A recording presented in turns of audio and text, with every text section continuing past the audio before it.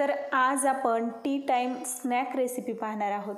ते म्हणजे smiley potato नावच या रेसिपीचं फार मस्त आहे आणि ही रेसिपी लहान मुलांपासून मोठ्यांपर्यंत सगळ्यांनाच आवडणारी आहे. तर ही रेसिपी कशी बनवली जाते यासाठी हा व्हिडिओ शॉर्टपर्यंत नक्की पहा. तर नमस्कार मी सीमा सीमाज रेसिपीज मराठीवरती तुम्हा सर्वांचे खूप खूप स्वागत आहे. चला तर मग आपल्या रेसिपीला एकदम झटपट सुरुवात करूया.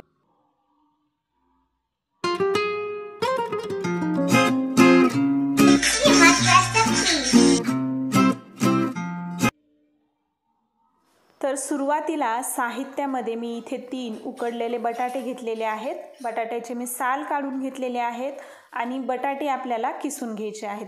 सगळ्यात छोट्या किसणीने आपल्याला हे किसून घ्यायचे आहेत.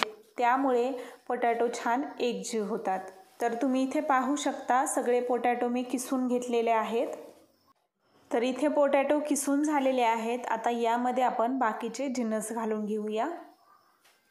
तर इथे मी पाव कप ब्रेड क्रम्स घेतलेले आहेत. तर आपण जे टोस्ट किंवा त्याला रस कसं म्हणतो ते आपल्याला मिक्सरमधून पिसून घ्यायचे आहेत. त्याचंच हे ब्रेड क्रम्स आहे. आता यामध्ये मी अर्धा चमचा मीठ घालते. पाव चमचा लाल तिखट. आता यामध्ये मी अर्धा चमचा काळी मिरी पावडर घालते. काळी मिरी मी मिक्सरमधून पिसून घेतलेली आहे. आता यामध्ये मी तीन चमचे कॉर्नफ्लॉवर घालते. आता हे सगळं मिश्रण आपल्याला मिक्स करून घ्यायचं आहे आणि या सगळ्याचा आपल्याला गोळा करून घ्यायचा आहे. तर पोटॅटो किसल्यामुळे यामध्ये अजिबातही लम्स राहत नाहीत आणि व्यवस्थित असा याचा गोळा तयार होतो. तर अशाच पद्धतीने आपल्याला स्मूथ असं मिक्सचर पाहिजे आहे.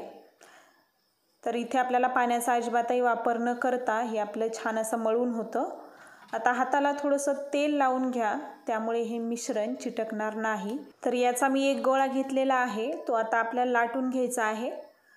तर थोडंसं खालती कॉर्नफ्लॉवर घाला आणि ते आपल्याला लाटून घ्यायचं आहे. तर खालती पोळपाट फिरवतच ते लाटून घ्या कारण हे फिरणार नाही. तर खूप जास्त पातळही नाही आणि खूप जास्त जाडही नाही अशा पद्धतीने ते आपल्याला लाटून घ्यायचं आहे. तर कापण्यासाठी तुम्ही एखाद्या वाटीचा किंवा झाकणाचा उपयोग करू शकता. तर माझ्याकडे इथे एक कटर आहे त्याचाच मी वापर करणार आहे. तर इथे तुम्ही पाहू शकता त्या कटरच्या वापराने मी अशा पद्धतीने हे बनवून घेतलेलं आहे. तर कोणतंही डब्याचं वगैरे छोटंसं झाकण असेल त्याने तुम्ही हे बनवून घेऊ शकता. तर अशाच पद्धतीने सगळ्या पिठाचे मी इथे बनवून घेते. हे मिश्रण पोळपाटाला जास्त चिटकत असेल तर तुम्ही इथे कॉर्नफ्लॉवरचा वापर थोडा जास्त केला तरी पण चालेल. तर या पद्धतीने मी सगळे बनवून घेतलेले आहेत. तर इथे मी एक स्ट्रॉ घेतलेला आहे. तर या स्ट्रॉचा वापर करून आपण या स्माइलीचे डोळे काढून घेणार आहोत.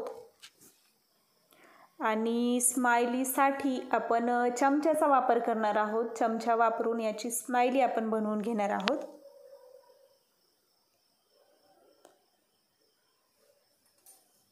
तर इथे तुम्ही पाहू शकता अशा पद्धतीने आपल्याला हे बनवून घ्यायचं आहे. तर हा आपला स्माइली पोटॅटो तयार आहे. तर याच पद्धतीने मी सगळ्यांना स्माइली आणि डोळे काढून घेते. ही रेसिपी नक्कीच लहान मुलांना खूप आवडेल कारण ही दिसायलाच फार सुंदर दिसते आणि खायला पण तितकीच चविष्ट लागते.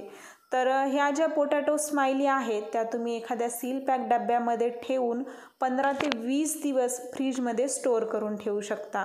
आणि जेव्हा तुम्हाला हव्या त्यावेळेस त्या काढून तुम्ही तळून खाऊ शकता. तर इथे आपल्या सगळ्या स्माइली एकदम तयार आहेत. तर स्माइली आपल्याला तळून घ्यायच्या आहेत. त्यासाठी मी कढईमध्ये तेल गरम करण्यासाठी ठेवलं होतं. आणि तेल गरम झालं की या सगळ्या स्माइली मी त्यामध्ये घालून घेते आणि आपल्याला या तळून घ्यायच्या आहेत.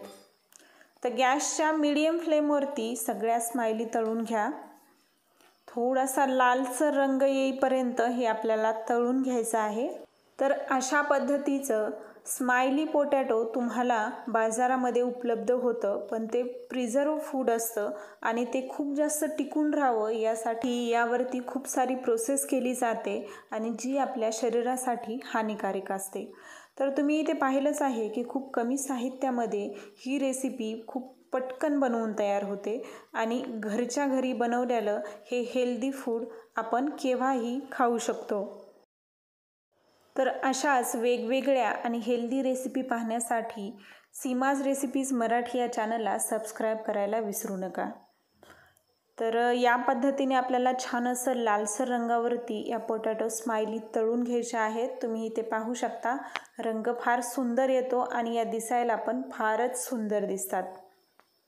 आणि हे तळल्यानंतर यामध्ये खूप असं तेल राहत नाही. एखाद्या टिश्यू पेपरवरती काढून घ्या. जे एक्स्ट्राचं ऑइल असेल ते इथेच निघून जाईल. आणि तुम्ही पाहू शकता खूपच गोड दिसते ही रेसिपी तर याच पद्धतीने मी सगळ्या स्मायली तळून घेतलेल्या आहेत आणि या स्मायली खाण्यासाठी एकदम तयार आहेत. तर तुम्ही हेच मिश्रण वापरून तुमची क्रिएटिव्हिटी इथे तुम्ही दाखवू शकता आणि तुम्हाला हवा त्या आकाराची तुम्ही इथे ही रेसिपी बनवू शकता. आणि हो तशी जर तुम्ही इथे ही रेसिपी बनवली असेल तर त्याचा फोटो काढून मला नक्की इंस्टाग्रामवरती पाठवा. ती रेसिपी पाहायला मला नक्कीच आवडेल. आणि हो आजची रेसिपी खरंच तुम्हाला आवडली असेल तर आपल्या चॅनलला सबस्क्राईब करायला विसरू नका आणि व्हिडिओला लाईक आणि शेअर नक्की करा. तर अशाच पद्धतीची टी टाईम स्नॅक रेसिपी तुम्हाला अजून कोणती आपल्या चॅनलवरती पाहायला आवडेल ते पण मला नक्की कमेंट करून सांगा. तर चला तर मग नवीन व्हिडिओत नवीन एका रेसिपीसोबत भेटूया. धन्यवाद.